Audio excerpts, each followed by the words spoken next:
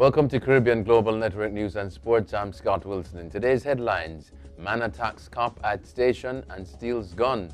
And in sports, midfielder Ricardo Morris set for a season-long loan with Finnish club.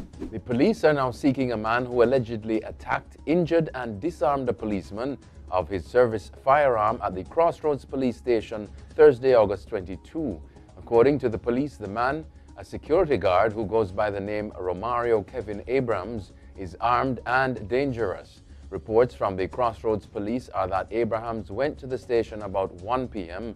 to give a statement and submit a medical report in a case of assault occasioning actual bodily harm. While being assisted, he reportedly attacked and disarmed the police officer and quickly made his escape. The police are now urging Abrams to immediately turn himself into the nearest police station. Roman Catholic nuns robbed in Clarendon. The Criminal Investigation Branch is probing the robbery of two foreigners in Clarendon on Tuesday.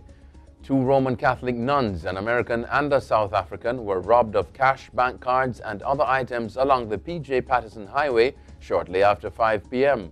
It was reported that the nuns were traveling from May Pen along the Mineral Heights leg of the toll road when their car developed mechanical problems.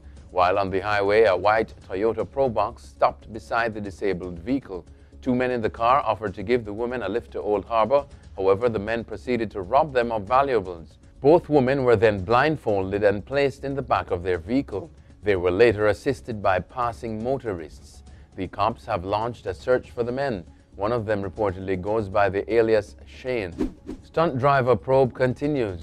Who was the real driver of a black Mercedes-Benz motorcar said to belong to West Indies cricketer Andre Russell that was spinning donuts at a busy intersection in Kingston late last week.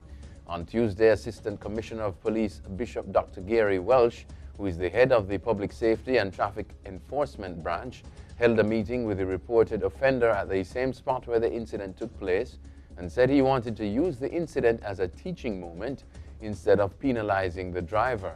The driver apologized for his actions during the exchange. He identified himself as Dennis Dietrich, the personal assistant to Russell.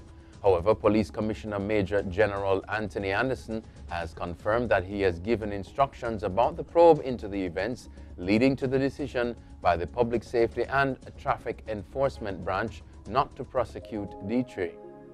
He said this is due to the controversy over the incident and new information which has come to light.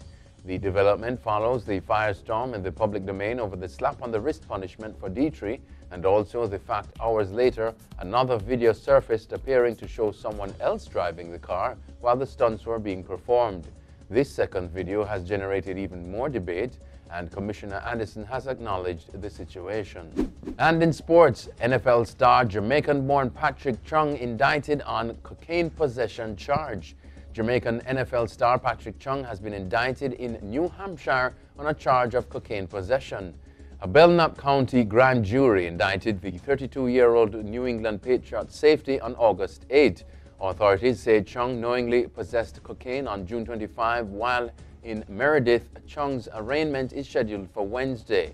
Chung, whose mother is Jamaican singer Sophia George, best known for the 1980s hit Girlie Girlie, has played for the Patriots for nine of his 10 NFL seasons and won three Super Bowls. The Laconia Sun reports town records show that Chung owns a lakeside home in Meredith. It is not clear whether Chung has an attorney who can speak for him. The court file doesn't list one. The Associated Press left a message seeking comment with a spokesperson for the Patriots. The voicemail box for Chung's agent was full. Midfielder Ricardo Morris set for a season-long loan with Finnish club. Portmore United midfielder Ricardo Morris is all set to embark on a season-long loan with Finnish top-flight outfit Vaasan Palloseura. Morris, 26, will stay at the Finnish club for the remainder of the season, which ends on November 14. But the deal provides an option for the versatile player to stay on for the 2020 season, depending on how things work out for all parties. He will share the pitch in Finland with former Portmore striker Stephen Morrissey, who has been at VPS since 2013. Morris, a St. James native, is reveling in the prospects of his first taste of plying his trade in football's greenest pastures, Europe. Morris sees nothing but possibilities to scale new heights in the pursuit of his professional dream. That's it for your CGN News and Sports. I'm Scott Wilson. Pleasant viewing.